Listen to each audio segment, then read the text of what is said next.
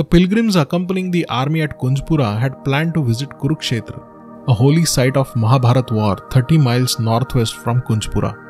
Sadashiv Rao also had plans to ally with the Sikhs from the Sirhind area to form a strong defense against the returning Afghan army in the near future. With this objective, Sadashiv Rao and the Maratha army marched northwest and perhaps further east to ally with Ala Singh Jat. While leaving further north, Sadashiv Rao sent about 1000 horsemen on the route to Delhi to keep a constant vigil. They were instructed to report back if any enemy movement was noticed. Ahmad Shah Abdali and his army started crossing the Yamuna river at the Gauripura crossing near Baghpat. On 26th of October 1760, the Afghan army successfully moved their artillery across the river pulled by some elephants. The artillery was the last to cross the river. They first set up camp at Sonipat. Ahmad Shah Abdali immediately sent Shahpasand Khan to hunt for any outpost and spies in the vicinity. Accompanied by Najib Khan's local men and 5000 strong army, Shahpasand Khan encountered the small Maratha detachment guarding the fords and crossings. The Marathas could not stand this sudden Afghan attack. Meanwhile, the principal Maratha army, which was marching north from Kunjpura, was now camped at Tarauri. Here they received the dreadful news that Afghan army had crossed the Yamuna river and was now stationed between them and Delhi. Exactly where had the Afghans crossed the river was not yet known. Sadashiv Rao then immediately sent another battalion led by Bajihari Supekar to locate this enemy and ordered his army to march south towards Delhi at once. On 28th of October, Bajihari Supekar and a group of riders from the Shinde army were patrolling the road south. They had stopped en route to feed their horses. This area was densely forested. Suddenly, from the thick bushes, some Afghan men appeared and attacked the Maratha men. Four of Bajihari's men were pursued and killed by the Afghans. The rest somehow managed to escape. Some of them who were captured were released by the Afghan soldiers after confiscating their horses and weapons. The surviving men quickly rushed north to report the incident and location of the army to Sadashiv Rao. The Maratha army now had the location of the Afghan army. It was now time for them to decide their route and their strategy. Now that the Marathas knew their location, the Afghan army rapidly advanced north to reduce the distance between them and the Maratha army. They reached at Samalkha. Their next stop was going to be at Panipat. The Marathas were also moving south with their large army. Ultimately, both the armies came into each other's sight. The Maratha vanguard withdrew as soon as they noticed Afghan camps at a distance. The Marathas decided to camp in a nearby city, the city of Panipat. The two armies were only 5 miles apart. Ibrahim Khan Gardi's men from Maratha army now started digging trenches. The soil pulled out was used to build sand hills and to install their artillery. Sadashiv Rao Bhau, who had set out to face Abdali on 14th March 1760, had finally come face to face with the Afghan army led by Ahmad Shah Abdali after 8 months. It was not possible for both the armies to advance any further. In fact, the Afghan army had advanced so close to the Maratha camp that the artillery shots fired by the Maratha cannons fell beyond the Afghan camps. Two armies were positioned such that they blocked each other's route home. The Marathas continued to receive supplies from Kunjpura and had their supply line established from the north. Abdali was receiving supplies from the Doab across the river. It was necessary for the Marathas to cut the Afghan supply routes Despite sending many letters and suggestions, Govind Pant Bundela was moderately successful at his job. He by now had collected a few lakh rupees and some bushels of grains which he was planning to send to Sadashiv Rao. If the Marathas wanted Abdali to propose for a truce, his supply lines had to be cut. It was evident that the winner of this battle would be determined only by the scarcity of supply in the opponent's camp. At this time, the markets in Abdali's camp sold about 1.5 to 2 kilos of grain for a rupee, while the markets in the Maratha camp, a rupee got you 15 kilos of grain. Due to the established supply lines and the ample provisions at Kunjpura, there was prosperity in the Maratha camp. A few days passed. The two armies were stationed facing each other, but there was no action. It was a scary silence before a storm. The Marathas were now preparing to attack. Malharrao Holkar was of the opinion that guerrilla warfare should be used by breaching perhaps through the center camps.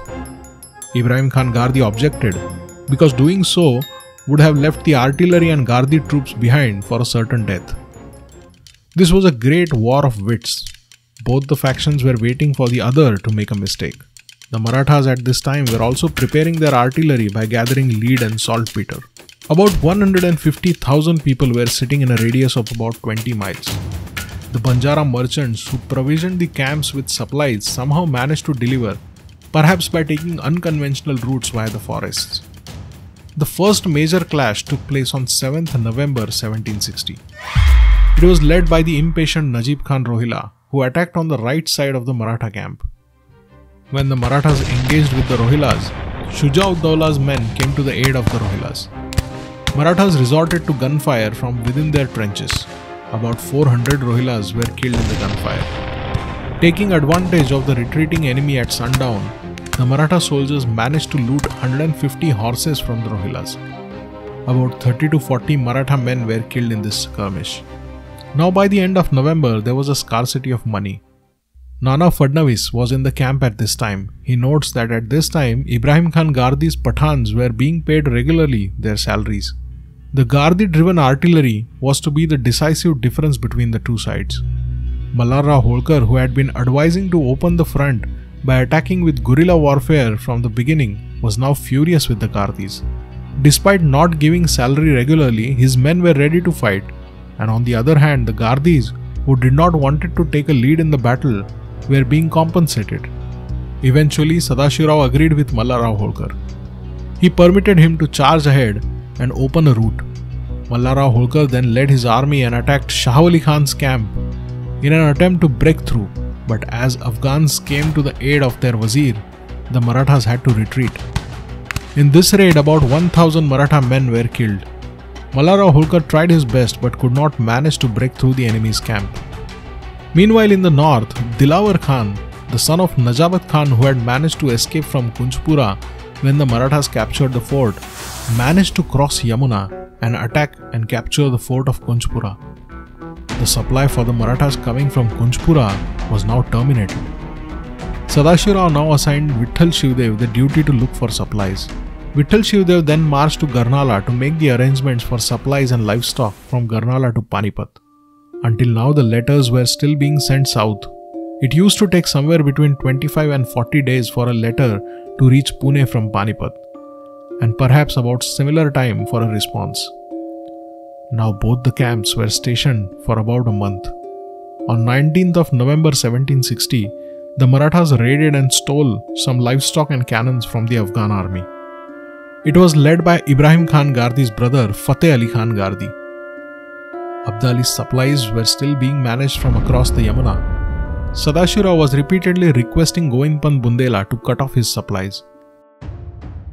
It was a full moon on 22nd of November 1760. Wazir Shahwali Khan was patrolling with his army southwest of Panipat. They had stopped near a well for some water. Seeing the Afghan troops so close to the camp, a young Jankoji Shinde suddenly attacked them. Shahwali Khan was bemused by the sudden raid. He did not engage and immediately retreated to his camp. But Jankoji and his men were determined to annihilate the enemy. They pursued and attacked the fleeing army. A bloody battle ensued. Sonji Bhapkar and Balwantrao Mehendale were sent as reinforcements, but they did not arrive on time. Perhaps if they had come on that day, they could have easily defeated and managed to kill the Wazir. About 1000 Durrani soldiers and 500 helpers from the enemy camp were injured. The Maratha men looted 500 odd horses from the Afghan men. Shetiba Kharde and Satwuji Phalke from the Shinde army were killed during this combat. That night, a triumphant Maratha army returned to the camp. Govindpant Bundela was frequently raiding Abdali's supply lines across the river. This caused frustration to the Afghans. Abdali was now irritated by these raids by the Marathas on the west of the river and Govindpant Bundela looting his supplies on the east of the river. He needed to stall these shifting scales he decided to move his camp near the river for now. As a result, his supply route could be changed. More so, he would move away from the rampant Maratha raids happening every now and then. With Abdali's change in approach, now it was up to the Marathas to answer his new strategy. Will the Marathas be able to take advantage of Abdali's move and break this deadlock advancing south towards Delhi? Or will they attack the retreating Abdali and land a finishing blow? Will Govind Pant Bundela force Abdali to request for a peace by cutting off his supplies? Only destiny had the answers.